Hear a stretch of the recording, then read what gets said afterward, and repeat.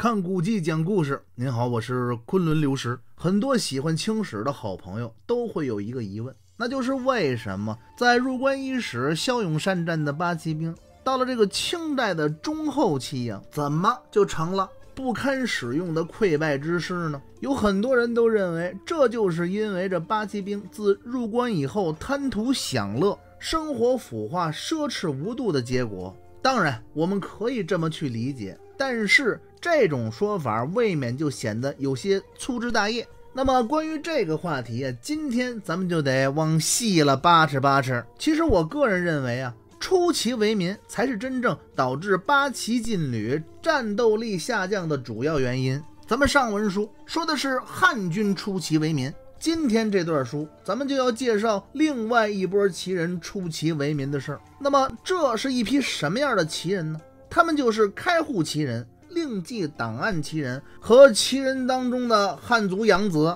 这样一来啊，咱们就勾到这个前文书了。为什么在讲八旗开始的时候，我就要把这三种人的身份跟您交代清楚喽？咱们在这儿不啰嗦，简单的呀，再提一嘴。咱们主要说这个开户旗人，这群开户旗人在入关的伊始啊，其实都是奴隶身份。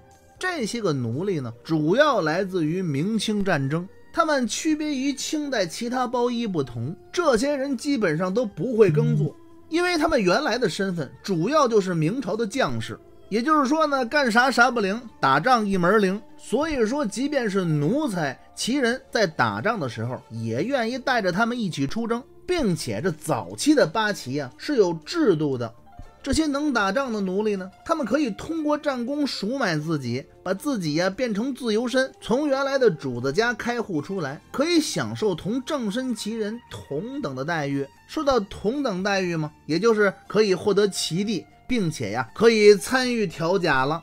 在清初的时候啊，也就是在顺治、康熙两朝。这些开户旗人几乎忘记了自己曾经是奴才的身份，因为他们除了见到本主以后要自谦的、礼貌的沿用主子、奴才这种称呼外，其他的和正身旗人没有区别。可是随着到了雍正年八级户籍制度的完善，这些开户旗人曾经的奴隶身份又被写到了户口簿里。并且到了雍正年，奇务问题已经摆在了雍正皇帝的眼前。雍正皇帝执政十三年，在这十三年当中，德政仁政频出。您比如说，这官绅一体当差，一体纳粮，火耗归公，还有摊丁入亩，这些个呀，都属于是仁政。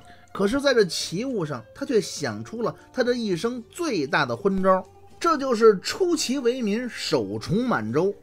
这首重满洲的意思啊，就是要把旗内的所有汉人出旗。这其中呢，当然就要包括这个八旗汉军和这些开户旗人，因为这开户旗人啊，前身也都是汉人。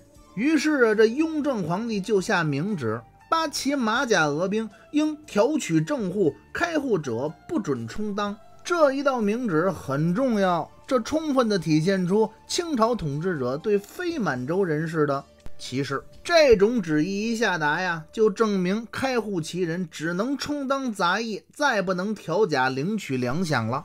说实话啊，这旨意归旨意，实际上执行起来呀很难。为什么呀？因为各地驻防旗人的都统们呀，他们心里是清楚的，八旗驻防军当中。主要的战斗力都集中在这些开户旗人身上。前一番的汉军出旗，已然对八旗的战斗力产生了很大的影响了。这要是把这些开户旗人再出旗，再编入到露营当中，这八旗劲旅啊，就真成了豆腐渣部队了。所以在雍正年呀，执行起来也是上有政策，下有对策。可是啊，这种糊涂的日子也不长，因为这雍正只有十三年嘛。到了这个乾隆年呀，乾隆皇帝对汉人出奇为民的态度很坚决，不但三下五除二把八旗汉军出奇的事儿搞定了，转过头来就下令开户旗人出奇。当然了，这里边啊也包括这个令记档案人和养子。那么这些汉人出奇以后，真正就缓解了旗务问题吗？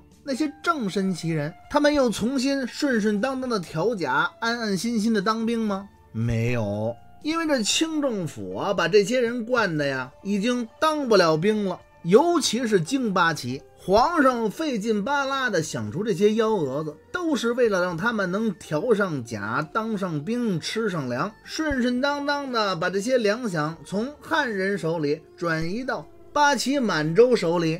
可是当调甲调到这些正身旗人的头上，问题就又来了。若是在京当差，无论是骁骑营、火骑营还是善扑营，要么西山锐剑营，或者是丰台大营。哪儿都行，他条件好，离家近呢。你要是把他调到环境恶劣一点的地儿啊，他算是不去了，想方设法的逃兵役。这全国驻防嘛，当然就有条件好和条件不好的驻地之分了。这些个正户旗人认为朝廷把他们调假到环境恶劣、条件不好的地区去驻防，那完全是为了惩罚他们。他们可不想这是皇上对他们的恩典照顾。他们给那些条件环境恶劣的地区还分别起了名字，比如说湖广、福建，他们叫烟瘴之地；西北呢叫大漠绝域之地。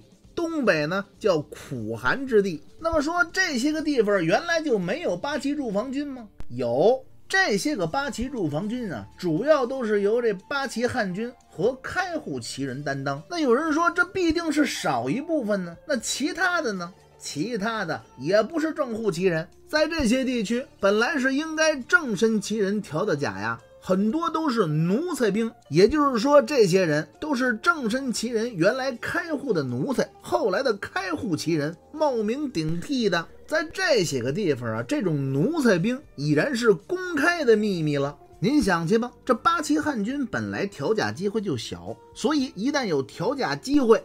那肯定是把自个儿练得棒棒的，他好让这左领能挑上自个儿啊。这奴才兵他也是一样啊，得到一个机会不容易。那这主子挑剔自己当兵的人，肯定不能挑那柔弱的呀。所以说，这两种人在乾隆朝以前呢，绝对是八旗兵当中的主要战斗力。乾隆皇帝这一道旨意不要紧，八旗军中少了开户旗人和八旗汉军。一下子呀，这八旗军队的战斗力呀就可想而知了。那么有人说，这八旗正户就真的那么不堪吗？嘿嘿，我见过这么一段野史笔记。话说乾隆后期，有一群精旗被调甲到山西，大概有一百户左右。这些人啊，从北京到山西去当兵，哎，也就是他们嘴里常说的那个大漠绝域之地。一路上啊，是酗酒打架，哭哭啼啼。别看就只有一百户，这朝廷啊还得派一名都统和多名椭员跟随。为什么呀？要随行安抚弹压。一路上啊，老百姓看这群人都不以为是啊要去当兵的，还以为这帮孙子是被充军发配了呢。沿路抱怨连连，哭哭啼啼，如丧考妣呀，就像死了娘老子一样。这说的那可还是乾隆年。也就是说，到了咸丰年，派出去镇压太平天国的部队啊，还没打仗呢，就私自往回跑，那也就不是什么新鲜事儿了。那么，所有汉人都出奇了吗？哎，也不是。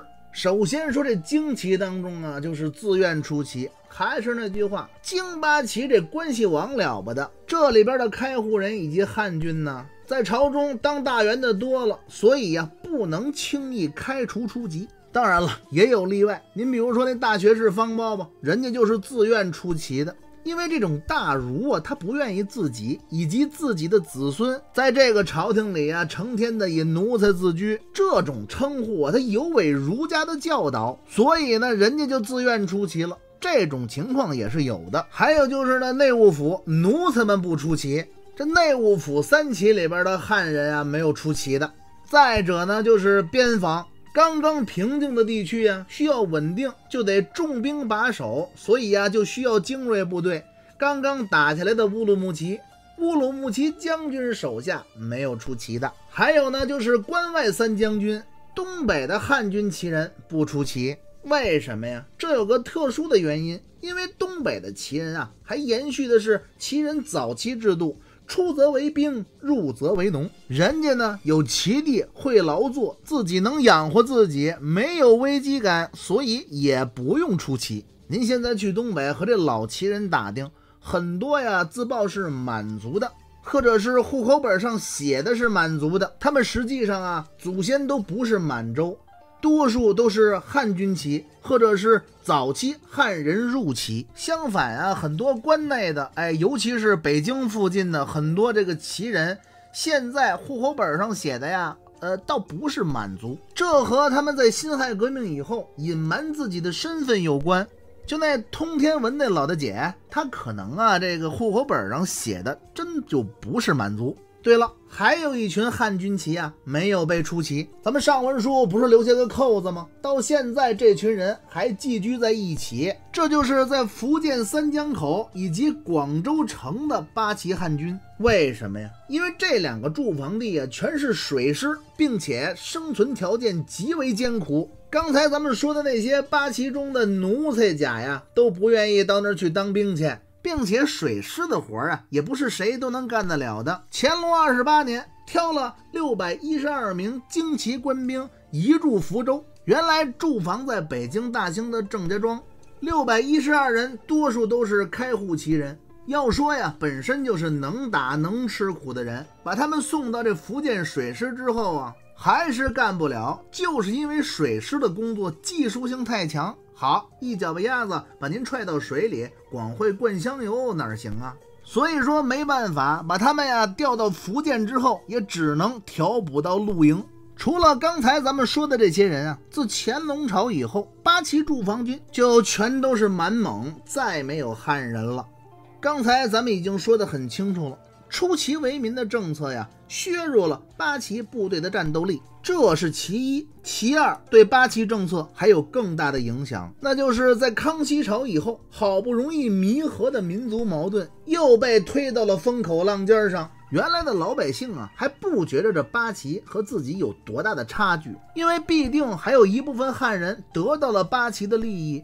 那么现在不一样了，得到清朝利益者呀，基本上都是八旗满洲。所以说，辛亥革命一声炮，孙中山先生一句“驱除鞑虏，复我中华”，才有那么多汉人随之响应。往小了说，这是清朝统治者狭隘的民族政策导致的失败；往大了说，这就是这大清朝廷啊，成也八旗，败也八旗。精彩回目就在明天。明天呀，咱们要聊点高兴的事儿。咱们要说说呀，这八旗的选秀制度。